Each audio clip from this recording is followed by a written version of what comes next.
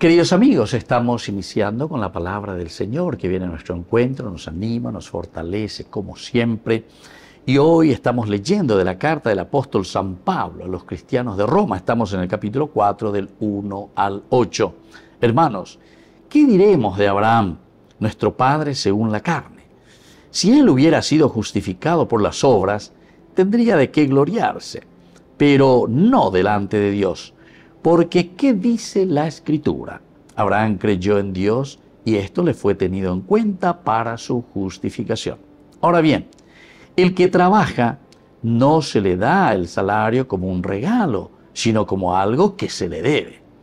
Pero al que no hace nada, sino que cree en aquel que justifica al impío, se le tiene en cuenta la fe para su justificación.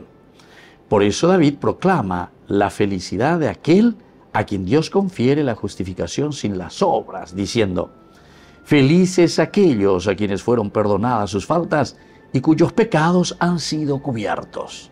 Feliz el hombre a quien Dios no le tiene en cuenta su pecado. Queridos amigos, este es el camino justamente de la fe. Pero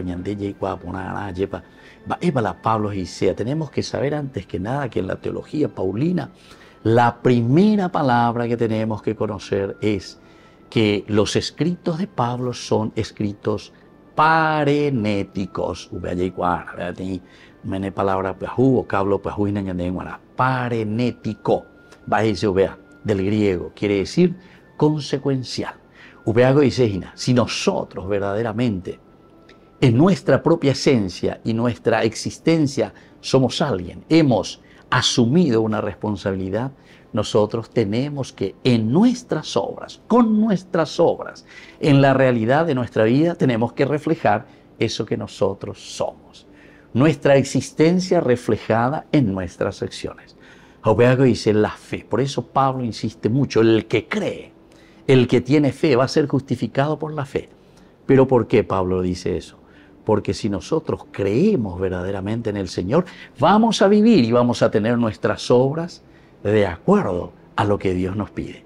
Diga tú de la ya yo creo en Jesús, ve, de ka de yapuña de mondá, ya ya pola y bahía. Upe anda y entonces parenético.